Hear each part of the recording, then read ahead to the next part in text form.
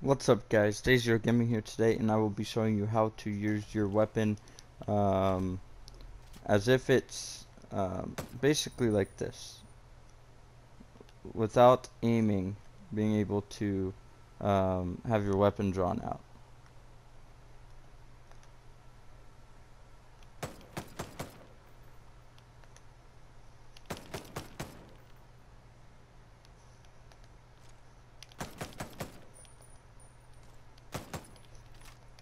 You can still aim while doing it too, like you just saw.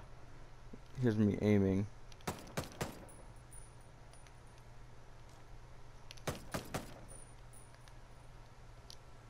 You can reload. You can roll. So when you roll, it'll pop off a bullet, but it's all good. So don't roll if you don't want that to happen. Um, oh shit. Try to land on the rock. Oh, man, I didn't. Okay, so I'll show you guys how to do this. That was a blooper, my bad. Um, so I'll show you guys how to do this real quick. Um, after, now that we've explained what exactly we're doing, I'll explain how to do it. Um, so while aiming, you will want to make sure you either have single shot or that you have burst. And you can shoot one round or one burst and keep holding the fire button.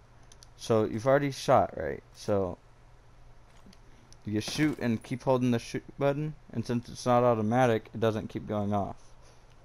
So it keeps your weapon out, um, as if it's a firing, but it's not firing. So it's kind of a cool way to keep your weapon drawn out, walk like an actual tactical member of whatever force you're running with. Um, you can do it with burst, as you just saw, and with single shot.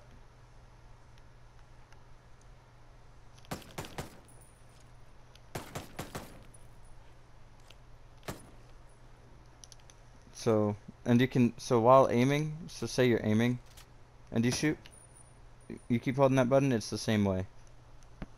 Right, so, hope you guys found this helpful. I'm hoping it enhances your um, gameplay, and I'll see you guys in the next one. Peace out.